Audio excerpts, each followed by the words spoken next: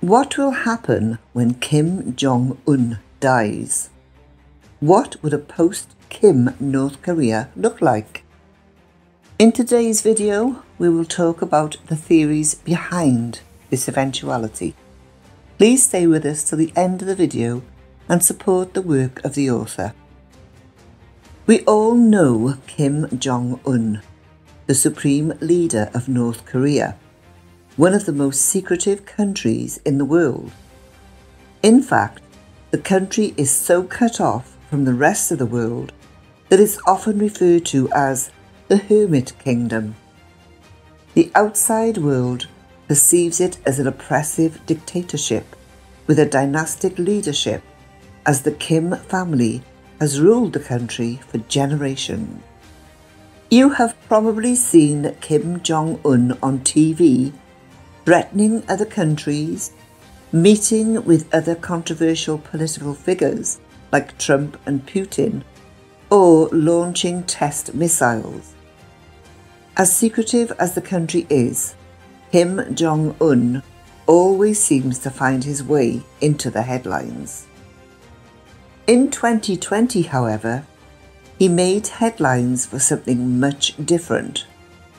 He disappeared for several weeks.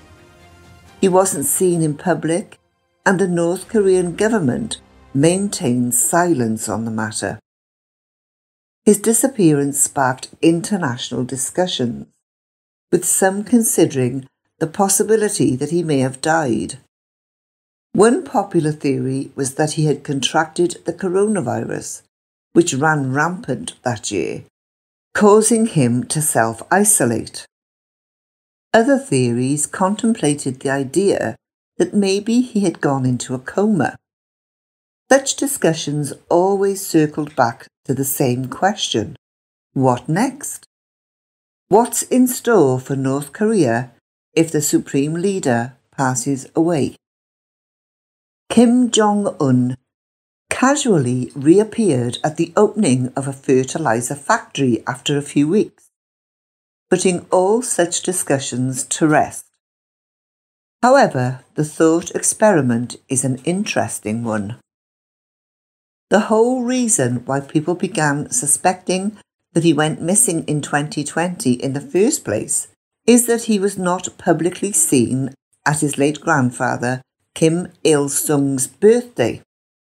This event marks the most important calendar year event in North Korea because Kim Il sung was the country's founder and first supreme leader when it was founded after World War II in the 1940s. He was so popular with the people that he became known as the Eternal President, essentially making North Korea the only necrocracy in the world, which is any country that operates under the rules of a former dead leader. Why does the Supreme Leader's potential death weigh so heavily on international politics? Why are we even interested in this hypothetical in the first place? Well, the answer is simpler than you may think. North Korea is one of the few countries in the world to possess nuclear power, and leaders like Kim Jong un aren't afraid to threaten other countries with their atomic arsenal. In fact, in January 2018, he did just that during his New Year's address when he said, The entire United States is within range of our nuclear weapons, and a nuclear button is always on my desk. This is reality, not a threat. Despite his claims of it not being a threat, it very much comes off as one. When a country's leader has such inclination and power to cause mass destruction, the people of the world would inevitably be concerned when he decides to disappear for several weeks. And, as we are about to see, his potential successors wouldn't exactly act any differently from him during nuclear crises. The leadership in North Korea revolves entirely around the mythology and bloodline of the Kim family. The successor to the first supreme leader, Kim Il sung, was his son Kim Jong il. When Kim Jong il passed, his son Kim Jong un took over. The Kims are given a near godlike status by the North Koreans. The citizens worship him because the only alternative is challenging him and ending up in a concentration camp where you are bound to die. Presenting the Kim family as gods to the general public is one of the reasons why Kim Jong un can mysteriously disappear. Disclosing the real reason for his disappearance would risk making him look weak or vulnerable.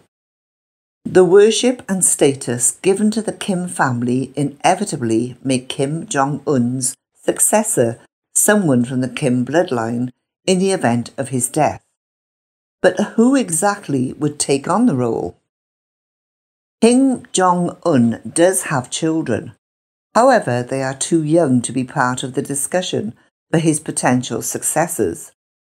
He has two older brothers, Kim Jong chul and half brother Kim Jong Nam. Kim Jong Nam was allegedly assassinated by Kim Jong un in Malaysia in 2017, while Kim Jong chul has already expressed his disdain for politics. Kim Jong un's sister would likely become supreme leader. With his two brothers out of the picture, who does that leave behind? Experts seem to agree that the most likely choice for Kim Jong un's successor is his younger sister, Kim Yo Jong. Known for being ambitious yet ruthless, Kim Yo Jong has been constantly watching and learning by her brother's side for several years. The only problem with this theory is that due to the secrecy of the country, the outside world isn't sure whether the citizens of North Korea would be on board with a female leader. Since they aren't exactly up there in terms of progressiveness, this could be a real constraint that could eliminate Kim Yo Jong as a potential heir. Assuming that the people of North Korea have no qualms with a female leader, could we expect a less ruthless or somewhat reformed version of the country with her as supreme leader? Would they cooperate more with the rest of the world? And would her rule make life any better for the North Koreans? Probably not. Experts believe that not much would change. The leadership dynamics in North Korea are such that to rise to the top, you must be ruthless, and to stay there, you must be even more ruthless. Even Kim Jong un had nearly 300 or more distant relatives and other officials executed, in addition to his half brother, after he came into power. So a change of regime wouldn't necessarily bring significant reform or change in North Korea. Kim Yo Jong would likely be a ruthless leader. All of this is even further supported by the fact that experts have perceived Kim Yo Jong as a cold and ruthless woman. According to the New York Post, Kim Yo Jong would be the Hermit Kingdom's most brutal dictator if she were to succeed her brother. Retired US Army Colonel David Maxwell said, My speculation, given the reputation and history of the family, is that she would rule with an iron fist. The nature of the regime in North Korea demands she be ruthless especially in the first few years. He went on to say, She may prove herself fiercer and more tyrannical than her brother, father, or grandfather. Her possible succession would likely be accompanied by missile launches or some other sort of probation to establish her credibility both domestically and internationally, as well as purges in the government to get people loyal to her in key positions.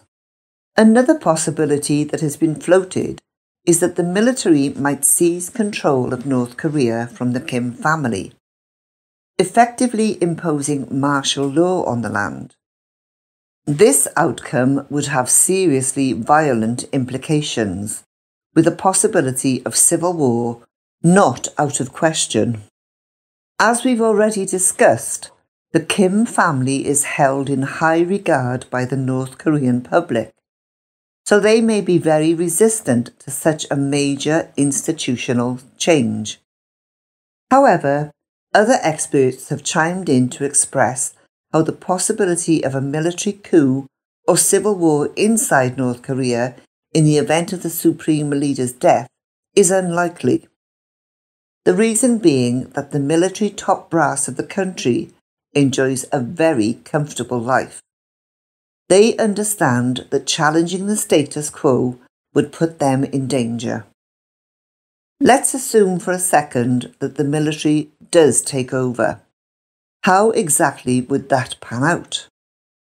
The recurring theme for North Korea's potential future is that all of the possibilities seem bleak. I doubt that any power hungry general in the North Korean military would be any better for the country's well being than the Kim family. Who's to say they wouldn't do more missile tests or further intensify the nuclear program? Who knows what kind of oppression and misery the North Korean public would be in for in the case of a military dictatorship? That's the problem with this whole discussion. Nobody knows. Given how secretive and cut off the country is from the rest of the world, we can do little more than speculate. Please feel free to share your thoughts and opinions on both North Korea and its leader, Kim Jong un. Please don't forget to hit the like button, and if you haven't already, please subscribe to our channel if you're enjoying our content. Thank you for joining us today.